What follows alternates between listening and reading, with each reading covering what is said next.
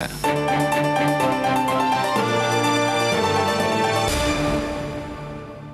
Но деньги деньгами, лучшим вложением всегда считалось вложение молока в детские рты, так как в масштабах страны демографическая ситуация – это ответ на простой, но глобальный вопрос. Либо мы будем, либо нас не будет.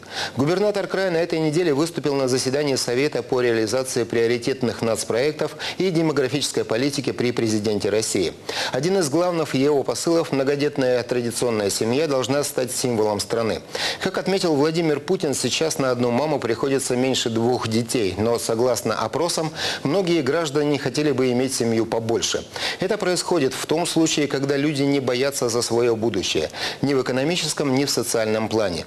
На это и будет направлен целый комплекс мер, который сейчас разрабатывается в дополнение к уже существующим.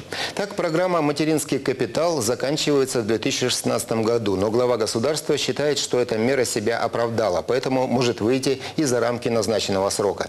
Кроме того, много многодетным семьям необходимо помогать в решении самого сложного жилищного вопроса. У семей с тремя и более детьми, а также у молодых семей должны быть эффективные инструменты улучшения своих жилищных условий. Нужно не просто раздавать землю, а консолидировать, как, как вариант. Можно консолидировать, допустим, земельные строительные ресурсы, инфраструктуру и в рамках комплексных жилищных проектов работать. Например, семьи, которым бесплатно переданы земельные участки, могли бы объединиться в жилищно-строительные кооперативы. Регионы в этом случае должны помочь с инженерной инфраструктурой. Она будет дешевле, если речь пойдет не об одном отдельно стоящем строении, Развитие сети перинатальных центров тоже, по мнению Владимира Путина, приоритетная задача. Красноярский край, в котором такой центр есть, в числе тех, кто может похвастаться цифрами. Четыре года в регионе наблюдается устойчивый демографический рост. В прошлом году родилось на 3000 малышей больше, чем в позапрошлом.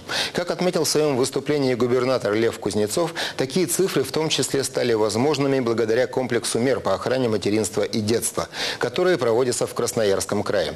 И, кстати, строительство перинатального центра здесь тоже сыграла большую роль. Напомню, он работает больше года. Там родилось за это время уже несколько тысяч малышей. Нужно акцент сделать первый на дальнейшее совершенствование и расширение системы э, перинатальных центров и родовспоможения, потому что вот эта как раз трехуровневая система, э, по крайней мере, вот статистика, опять же, опрос в Красноярском крае, дает мотивацию женщине в следующий раз прийти рожать.